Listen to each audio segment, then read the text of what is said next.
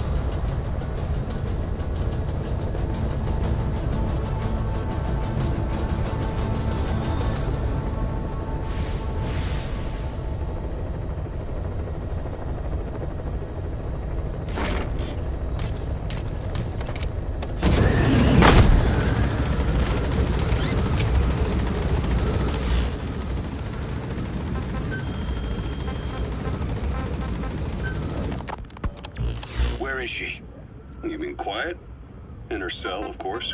Why did you send her out with the boss on that mission? She proved herself well enough, didn't she? Boss sure knows talent when he sees it. That woman will never be one of us. She's targeting him. Don't forget, we do owe her one. Please select a What's that supposed to mean? Remember what happened when she first got here? She shot down the aircraft Cypher sent after us. Not only that, she hit the cockpit. Who else could have done that? We're talking about a fighter jet traveling at Mach speed. What's your point? She hadn't been there. The boss's chopper would be at the bottom of the ocean right now. Or would have been followed right back to Mother Base. So let's say she does have some elaborate scheme in the works. If you want to catch her in the act, all we can do is sit back and wait. On the other hand, if she swears allegiance to the boss like our other Fulton recruits, he couldn't ask for a better partner. She's got you fooled. I have eyes on her. If she tries anything, she'll regret it. We lose nothing either way.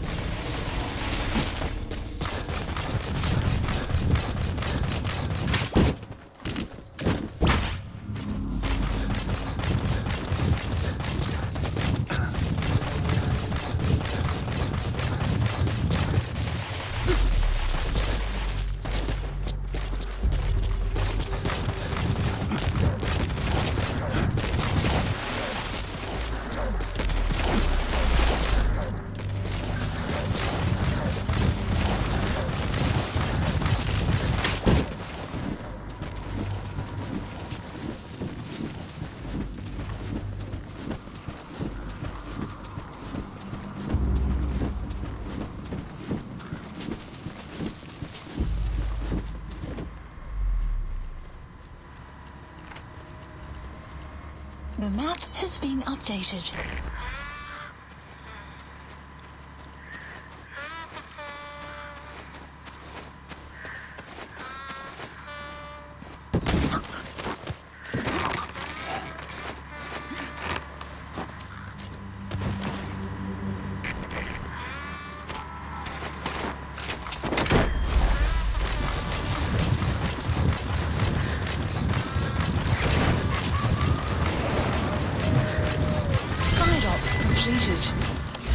Ops list updated. He's coming too.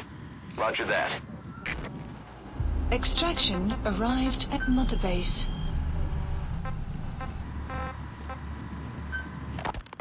It wasn't just Cypher.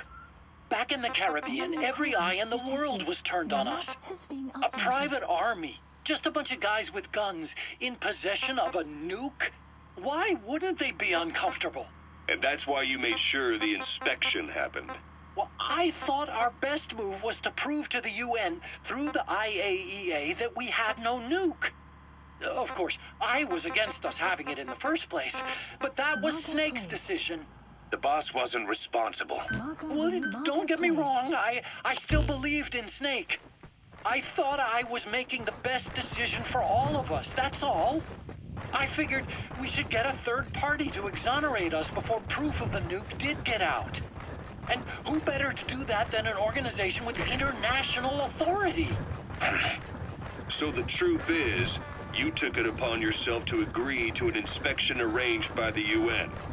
Only the inspection was a ruse, and Cypher Strike Force XOF showed up instead. I had no idea that would happen. Enough bullshit! Oh, sure, like I could have known.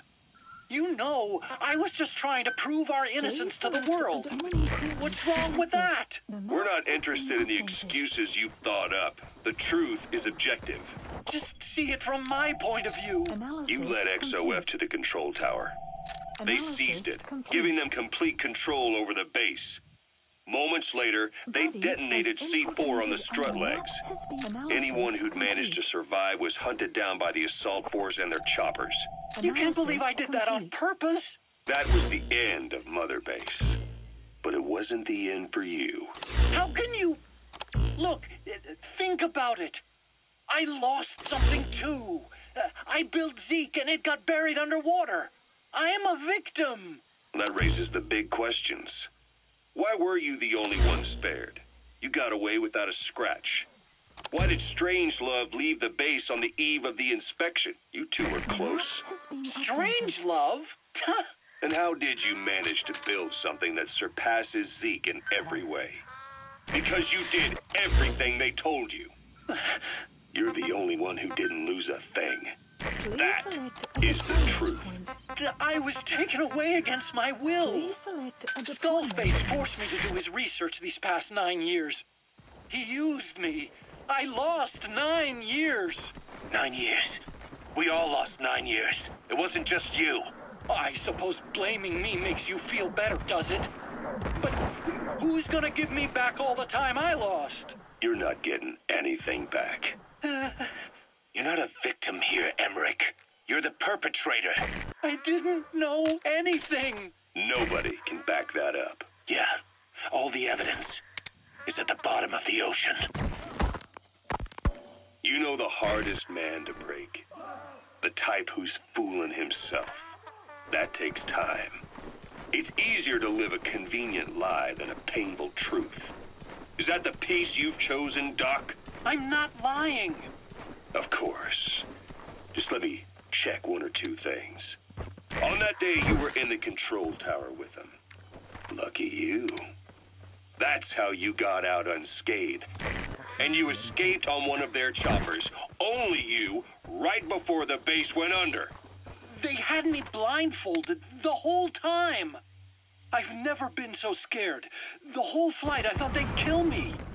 But, but thinking of you kept me going. My comrades, all the way.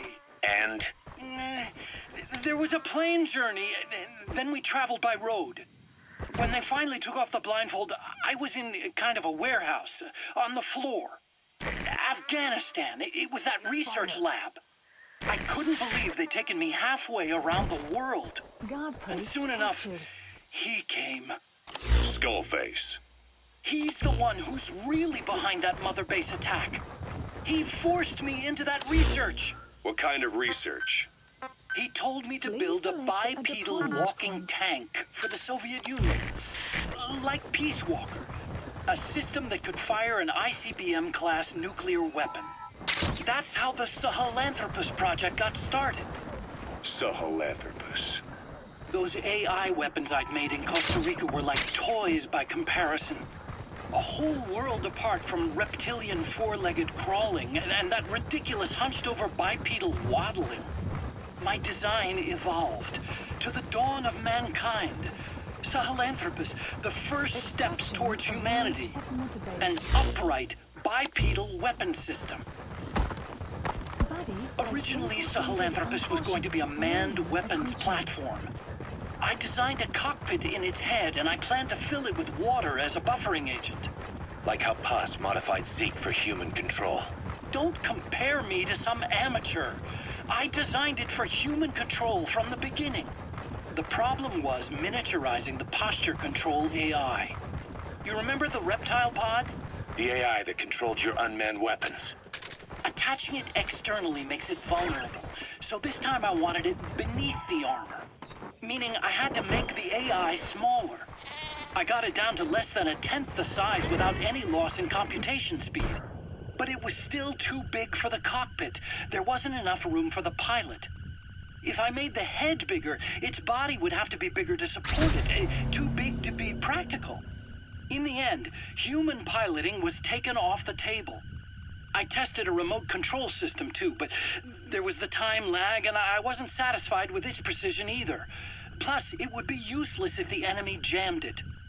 So next, I went back to trying an AI-only system. To do that, I had the AI pods recovered from Nicaragua. This was a hybrid AI, a combination of Peace Walker's reptile and mammal pods. The only AIs that had ever successfully operated an unmanned nuclear weapon system. Really? You'd need some help to get that working. Expert help. Did you work with someone? I worked alone. You did that yourself? That's the thing. The AI didn't pan out in the end either. But I did finally get the Sahelanthropus walking by folding over its... Subject on board. Leave the rest to us. The first upright bipedal locomotive weapon system in the history of mankind. Analysis complete. I guess technically it falls into the anthropoid ape category. Analysis complete. I don't see the benefit of having it stand taller. On terrain with significant differences in elevation like Afghanistan, you need a body that's vertically adaptable. That also lets it attack from long range while using mountain ridges for cover. So, making it walk upright was the most important factor in giving it superior height capability. As the name suggests, that was the whole point of Sahelanthropus. But I was being pushed for results. Having the AI mounted externally would have been the fastest way to get it working. I, I just needed more data so it could maintain its balance. But Skullface refused to wait. He dismissed the idea of AI control and took Sahelanthropus away from me before I could finish it. But it was walking when it came after you. That's just it. I don't understand how Skullface got it to move upright. Without a pilot or an AI. And walking at that speed, too. Prisoner It's beyond anything I could have imagined. Has been added. This is like the Wright brothers making it to the moon. I, I'm just as clueless as you are. So this Sahelanthropus, where is it now? I have no idea. All my experiments took place at that cave. I've never seen it anywhere else. Besides, it's still just an incomplete.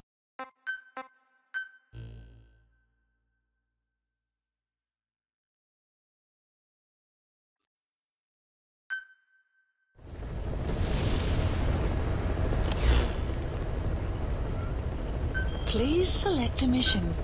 Mission accepted.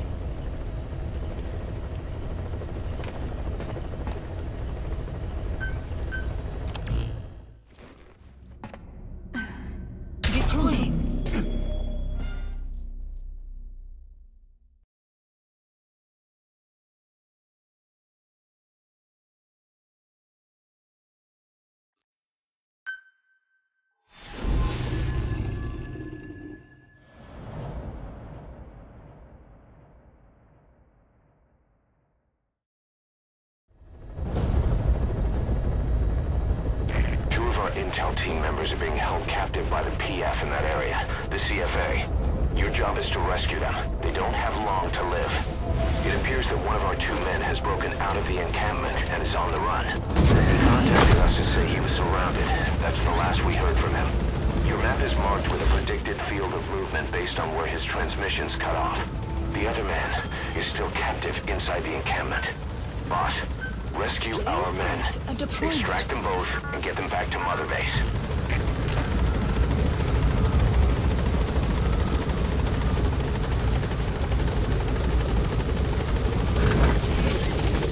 Be careful down there, boss. The map has been updated. Please select a deployment point.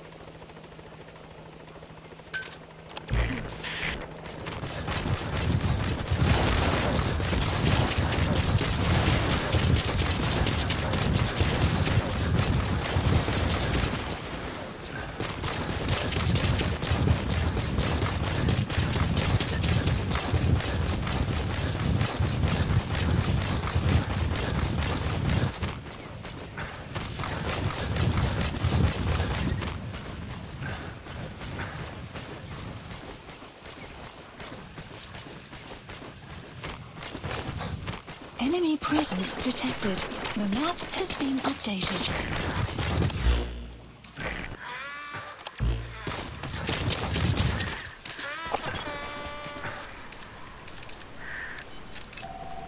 An enemy presence detected.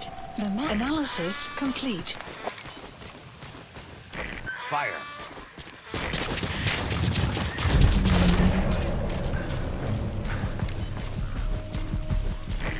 Fire.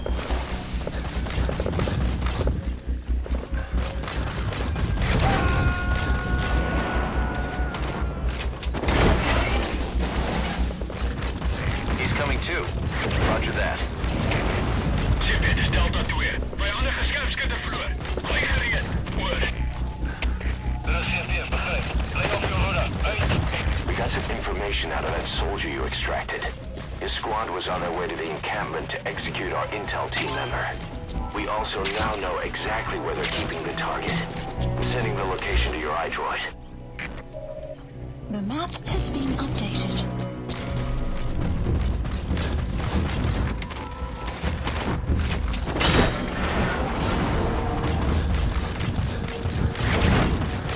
Our staff member on the run last contacted us from that forest. The enemy PF already has troops spread out in a manhunt to find him. Keep your eyes open. Extract our man before their search team can find him. Check his location on your iDroid. You have arrived at your destination. Enemy presence detected. The map has been updated.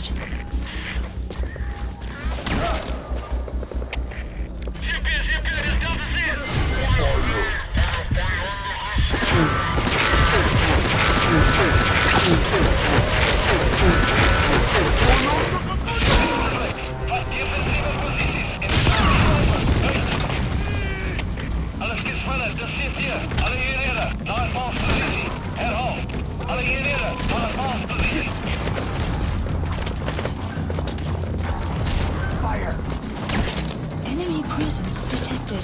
The map has been updated.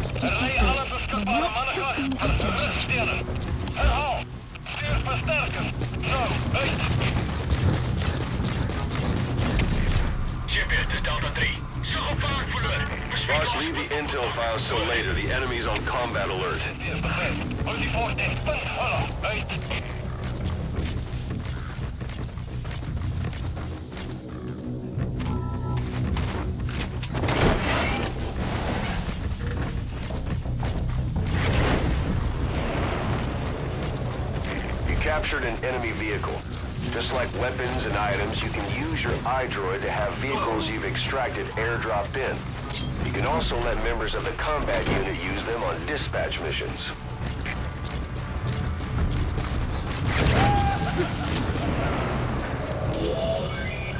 Now, rescue the other target. The map has been Kiziba camp. updated. Enemy presence detected. The map has been updated. Please select a deployment point. Boss, our man you extracted gave us all the intel he could. You got a lead on what's happening with the CFA. Check it on your iDroid.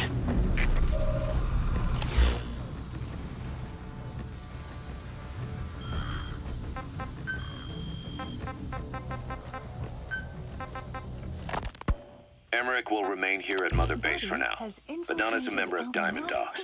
I still don't trust him. That work for you? Fine by me. He can't be allowed any contact with staff either. Yeah.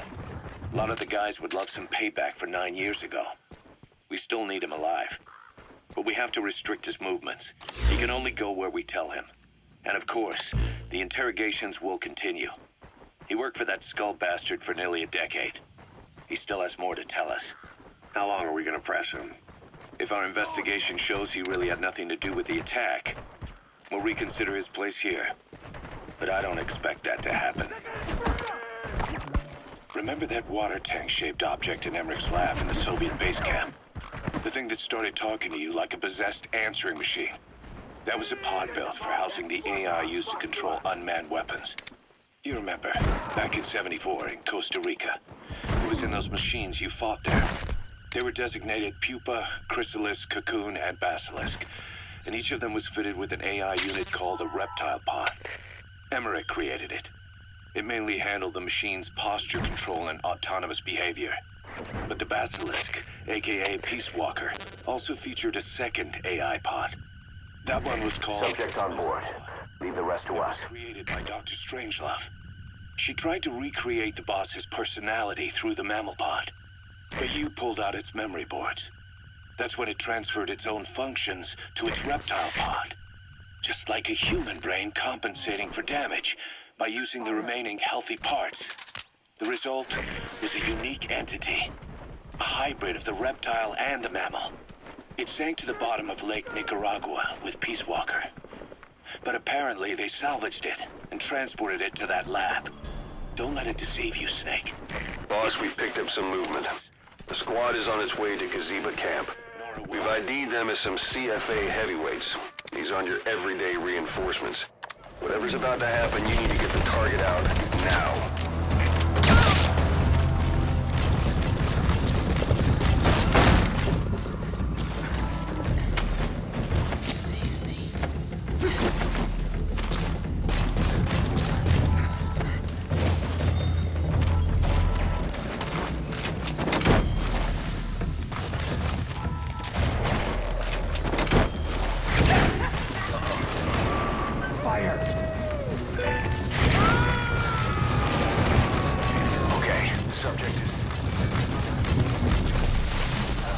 Coming too.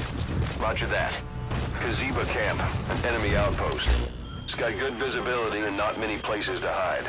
Use the landscape wherever possible. Call that thing Sahelanthropus. Where does the name come from? Well, several years ago, an excavation team discovered a hominid skull in the Sahel region. Central Africa. The Southern Sahara. Cypher gave the specimen the name Sahelanthropus, man of Sahel. And then they covered the whole thing up. Why? They probably wanted to monopolize information about human evolution to have a head start in their genetic That's him. That's the target. He's injured. Looks half-starved, too. There's no way he can stand the shock of a Fulton extraction. Get him out by chopper. It's a gracile hominid, estimated to have lived about seven million years ago. What's significant about it? Roger. it skull's foramen magnum faces down. In other words, its spinal column supported its head from underneath. It stood upright. Right. Which would mean Sahelanthropus walked upright three million years before Australopithecus, making it the world's oldest human species. Walking upright. I get it. Hence the name Sahelanthropus for your machine. Walking upright was the decisive difference between our ancestors and other anthropoids. Our brains could get heavier once they were supported by the spinal column. That led to the use of tools and the development of complex communication through language. Only man is capable of this. My creation will be the progenitor of all bipedal weapon platforms. And you did this for Cypher. No, not at all. Sahelanthropus is the best proof that I never betrayed you guys. What do you mean? The reconstructed Sahelanthropus skull looked exactly like the skull we used as our logo nine years ago in the Caribbean. An army without a nation. Outside the world order. The design was based on Pangea, the supercontinent that existed 250 million years ago, right? Yeah. When the world was a single landmass. That concept's at the source of our strength. I felt that... Confirmed extraction of both targets. Boss, on behalf of all the Diamond Dogs, thank you. I always wanted to put its technology back in our hands someday. That's the reason I incorporated the old insignia into Sahelanthropus' name. Don't you see? That's how much I was thinking about you guys. Oh, I see, all right. I see someone desperate to cover his ass. You can say whatever you want after the fact. Flawless work. You never cease to amaze, boss. Extraction arrived at Mother Base.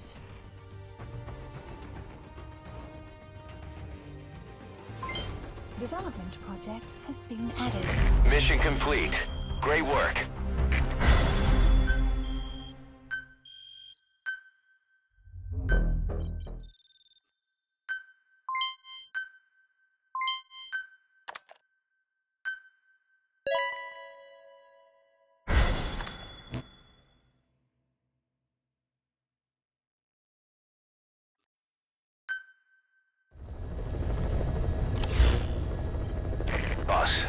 One of the job offers we received concerns me. Mission list, There's a. PF commander who's been talking big about getting into the nuclear arms trade. This could be connected to that yellow cake. And there's another contract I'd like you to handle. It's a wet job, but we need to divert Cypher's attention. Check the mission list for the details.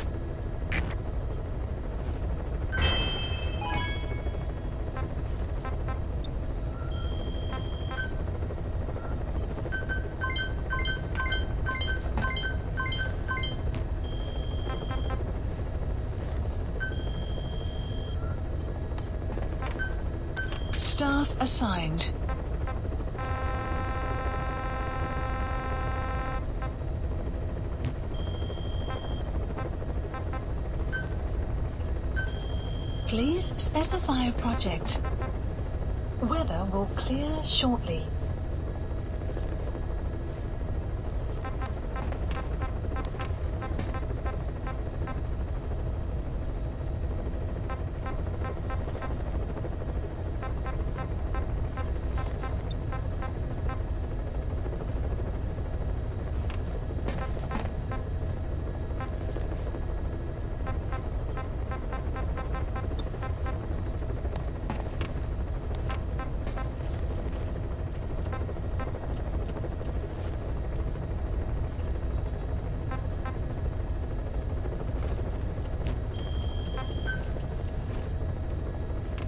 Please specify a project.